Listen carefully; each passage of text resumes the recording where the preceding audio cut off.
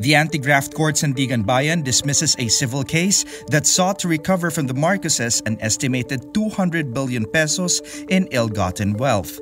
This allows the entire Marcos family to keep the alleged ill-gotten wealth. The case is dismissed because the documents submitted by the Presidential Commission on Good Government or PCGG were quote mere photocopies. The PCGG sought to recover an estimated 200 billion pesos computed from the wealth that exceeded the Marcoses' lawful income as public officials. From 1960 to 1984, the late dictator Ferdinand Marcos was found to have obtained a lawful income of only 8.1 million pesos after taxes. Imelda Marcos acquired a net income of only 2 million pesos as Governor of Metropolitan Manila and Minister of Human Settlements. The PCGG said Imee, Irene, and Bongbong Code actively collaborated with their parents in confiscating and or unlawfully appropriating funds and other property and concealing the same.